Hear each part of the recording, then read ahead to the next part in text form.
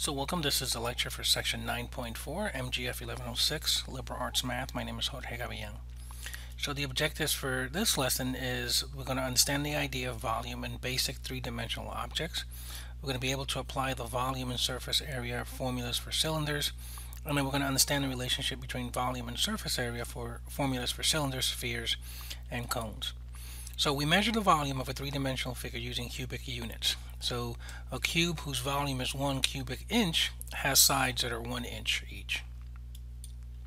So the volume and the surface area of a rectangular solid. So if a rectangular solid has length L, width W, and height H, the volume of the solid is equal to L times W times H. And the surface area of the solid is going to be equal to 2 times LW plus 2 times LH plus 2 times WH. So in this example, here we have 5 by 3, because it's going to be 5 on one side, 3 on the other, so it's 15 square inches. This one has is 5 by 4, so it's 20 square inches. And this one's 3 times 4, which is 12 square inches. And so then it's going to, essentially we can slice this into 61 inch cubes.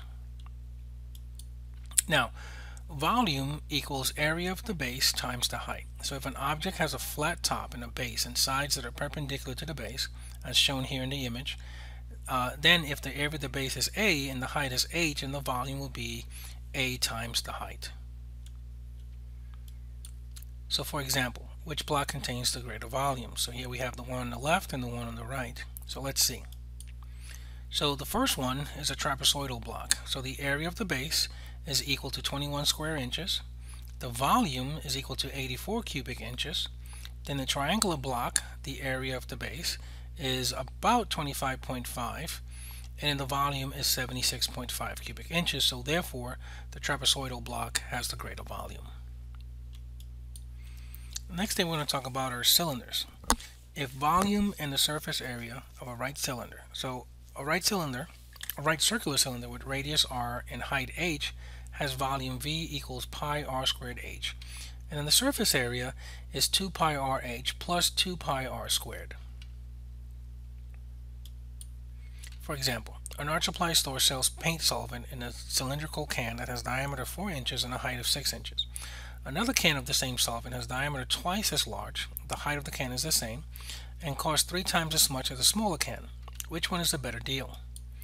Now the volume of the smaller can is 75.4 cubic inches.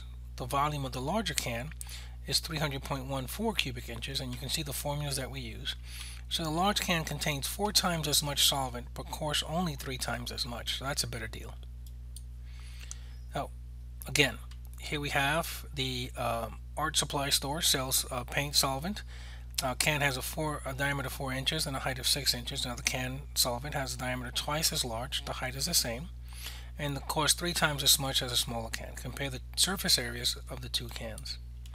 So the smaller can has a surface area of 100.5 square inches, and the larger can has a surface area of 251.2 square inches.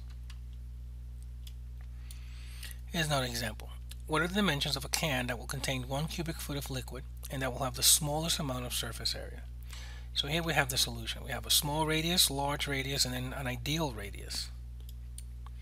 So the solution would be that pi r squared h equals 1. So the height is equal to 1 divided by pi, pi r squared.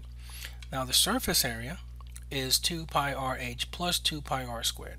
Here we're going to substitute h because we solved it here uh, at the beginning into the formula for surface area. So then surface area is going to be equal to 2 divided by r plus 2 pi r squared.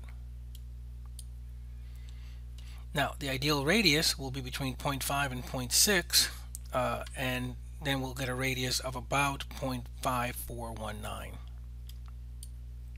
Now, cones and spheres.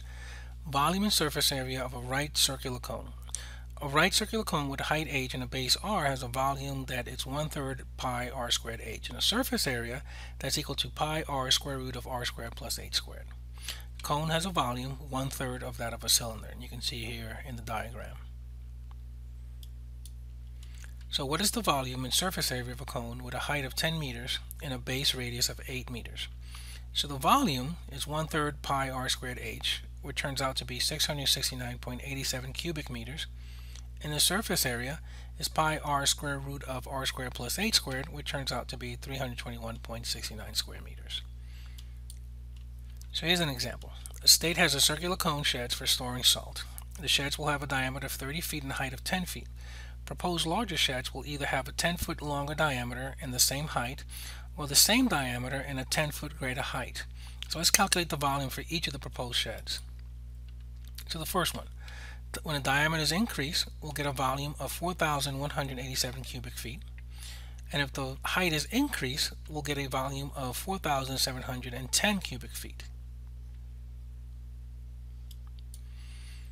Again, the state has a circular cone sheds for storing salt. The sheds will have a diameter of 30 feet and a height of 10 feet. Proposed larger sheds will either have a 10 foot longer diameter and the same height, or the same diameter and a 10 foot greater height. Let's calculate the surface area for each of the proposed sheds. So the surface area when diameter is increased becomes 1,404 square feet. When the height is increased, it's 1,178 square feet.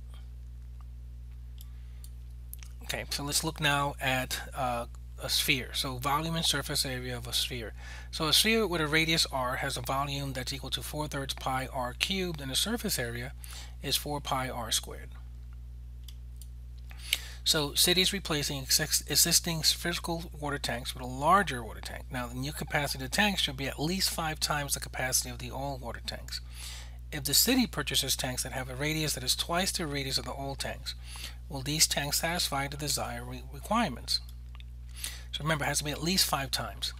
So the old tank is V equals 4 thirds pi r cubed. The new tanks, the new tanks has a radius that's twice the old. So here's the original volume. So it's going to be 8 times that original volume. So the new tank's volume will be 8 times that of the old tank. Will satisfy the condition for the city. And that's the end of section 9.4. Thank you.